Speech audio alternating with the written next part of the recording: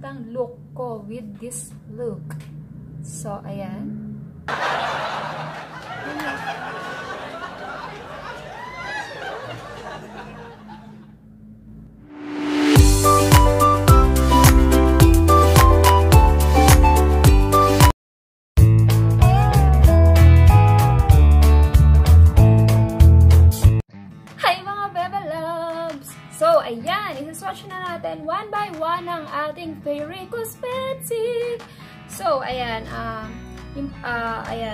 ang pag-swatch natin na gagawin dito sa mga lip and cheek is susundin natin siya for the lips and cheek. So, isa-isahin natin siya para makita nyo kung ano itsura niya sa cheek and lips. So, without further ado, please keep on watching.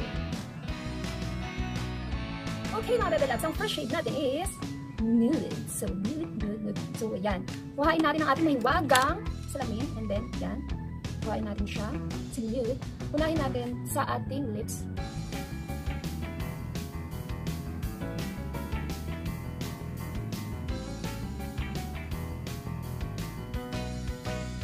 Much better na gamitin siya with, ano, with fingers kasi, ayan, watery siya masyado. So, kailangan natin siyang i-blend. Pero pag may dupot kayo, maganda. Ayan kasi, oh, pag in-apply mo siya ng ganito lang, may water-water. So, hindi mo siya your finger.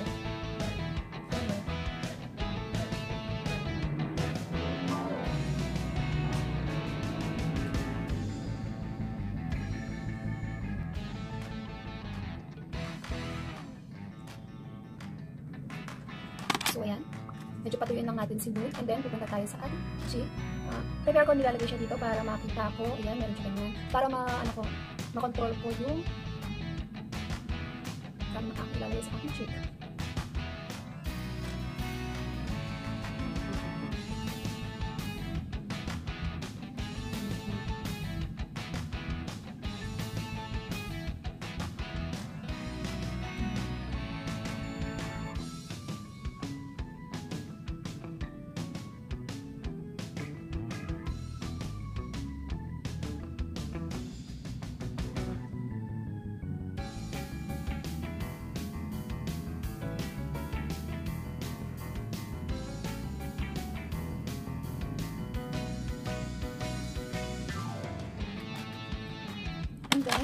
Kuha tayo ng onsen powder. Powder.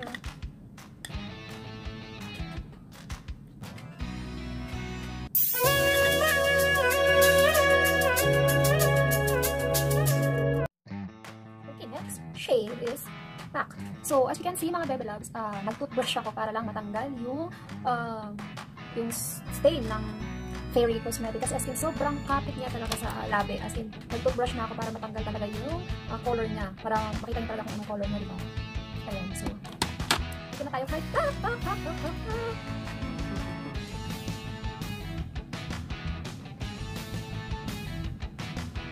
Sipak parang may pagka, ano, brown violet. Ano ko siya balita ng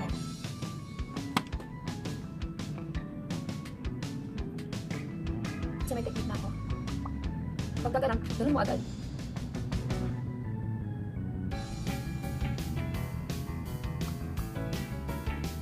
Ayan, sipak. Sintak talaga. Parang nude na, may pagka nude na reddish, ganun. So, ayan. Sa lip sipak. So, try natin sa cheek. Sipak,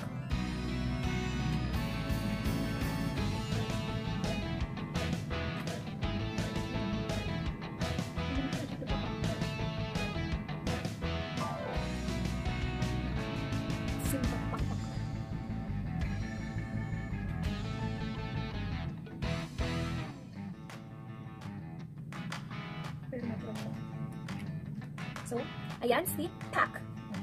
Pack.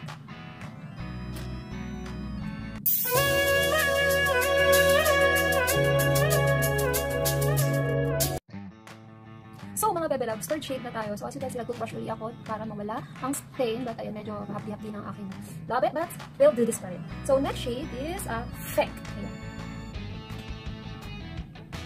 So, Feng. So, let's do this, Feng. Ayan, actually, ayan, kapila mo siya. Fank.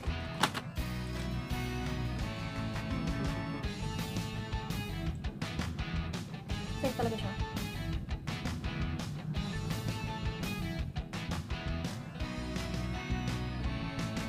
Kung gusto mong ganyan lang yung pagka-fank niya, mga bebelabs, okay lang, pero ako more. Pwede mo siyang kontrolin kung hanggang saan yung pagka-fank niya. And it's up to you on gusto mo. So, ayan sa fank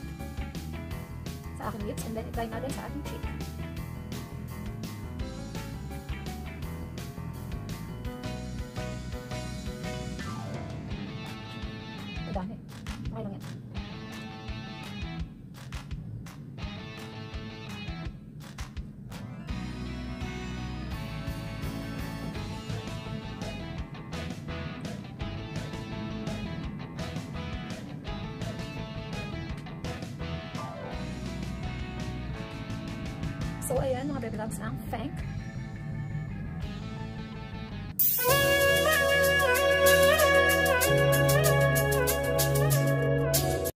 ayan. Pang fourth shade na natin, which is Wolf. So, ayan. Pagka-light pink lang to. So, ayan, nag-toothbrush na ako para mawala yung uh, nilagay natin kanina. But still, meron, meron pa rin onte, pero delete na siya. eh. So, ayan.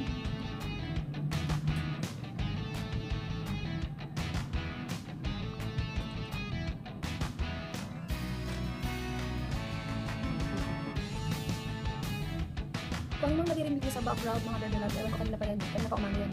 Hindi ko alam kung saan may sunog. But, yan.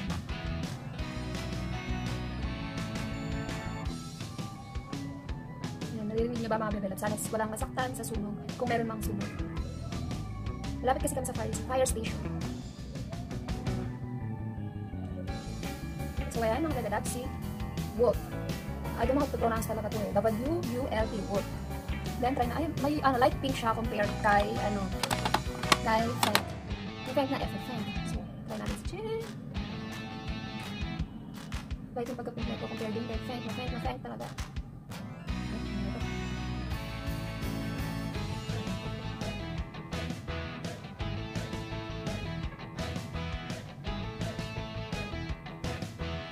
Ayan. Ayan si Wolf.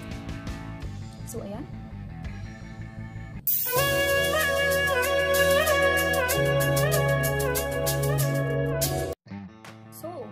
Andito na tayo sa 5 shade, pang 5 shade na to. So, ayun, nag-toothbrush na uli ako mga bebe loves. And then, ayun, medyo mamula-mula na yung labi ko dahil sa pagka-toothbrush. And masakit-sakit na rin siya mga bebe loves. But I will do this for you. Massage lang natin to.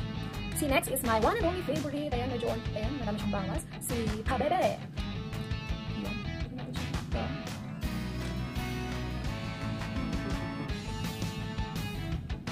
Si Kabebe, may orange siya.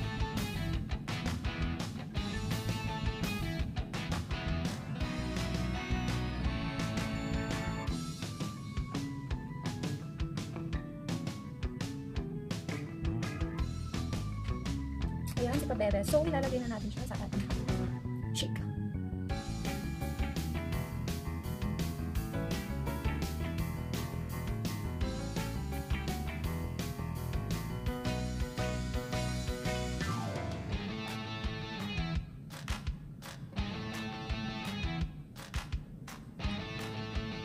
Yan, yung decide-decide, drag, ano, drag mo pang bed mo. Okay ka din. As in, drag, drag talaga. O, diba? Yan, si Pabebe.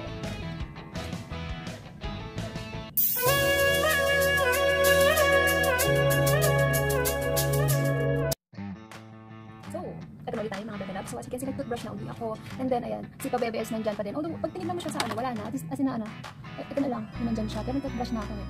Hirap na talagang tanggalin. Anyway, uh, si Manantod na naman ilalagay natin. And then, uh, naghalo na yung pin sa pula ng labi ko dahil tinagbrushan ko siya ng todo. And then, as in, makakapit talaga itong gin na pabebe na eh. Kaya ganyan siya. Anyway, makikita niyo pa rin naman itong wala tayong magagawa. Kasi pag nilagyan ko siya ng concealer or something, parang mag-iiba yung texture na ayaw ko yung ganun. So, ito, try na natin si Manantod. So, kita niyo naman mga bebe loves. Pag ganito na kayo makikita mo yung pag-red-red niya. Ayan, diba? And finally, mga bebe loves, this is our last shade na isa-swatch natin. I have a six, six shades lang.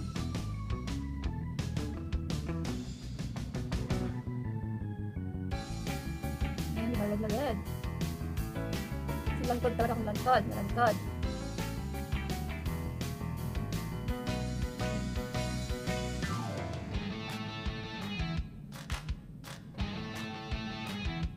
Parang normal lips mo siya nang namumula pag ano, tumatagal.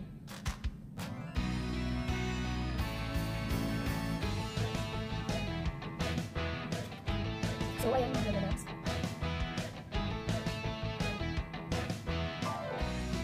Try natin siya sa ating mapula siya. Ito, hindi lang nagit mapula na. Ito, hindi lang.